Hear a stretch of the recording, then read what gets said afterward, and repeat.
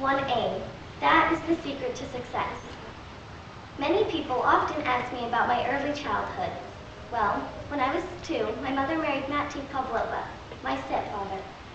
Sadly, though, a couple months after they were married, he died, and my actual father left me and my mother when I was very young. So even at a young age, I knew what it was like to work, even as we were very poor, along with many people in Russia. My mother always, always managed to get me something special for my birthday. So as that time of year came along, my mother presented me with an envelope. In that envelope were two tickets to the ballet. I had never seen a ballet before, so when we arrived at the Mariinsky Theater, I was amazed. The seats were covered in velvet, and there was a warm glow bouncing off the walls.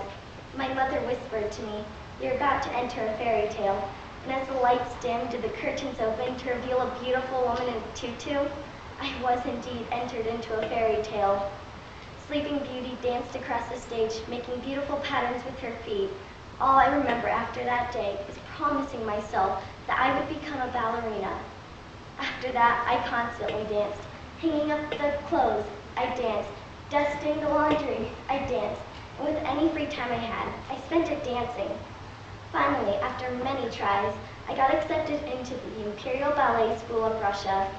I must admit, it was very hard work, but no one can arrive from being talented alone.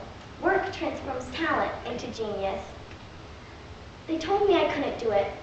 Your legs are too scrawny, your feet are too weak. That's what they told me. But I proved them wrong. All I had to do was alter my pointe shoes. I put wood at the bottom of them to give me more stamina and stability. Finally, after I graduated from the Imperial Ballet School of Russia, I did my first performance at the Mariinsky Theater. And after that, my, my career just continued to grow. In 1907, I did my first tour in America. But it doesn't matter how many times I perform. My favorite piece will always be one choreographed just for me, the piece of the Dying Swan. I dance it to Saint-Saëns' Carnival of the Animals. It's so beautiful and graceful, words can't describe it, so I'll just show you some.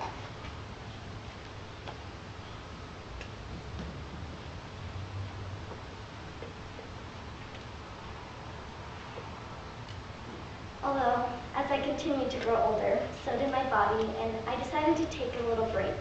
So I decided to travel to the Netherlands. Unfortunately, though, on the way there, the train I was taking got into, a terrible accident. I had to wait outside in the cold for 12 hours in my nightgown.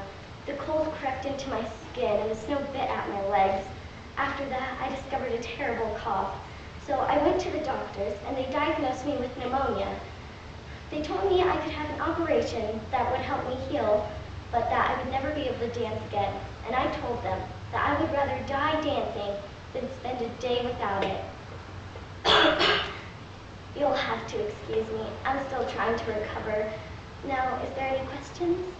Mm-hmm.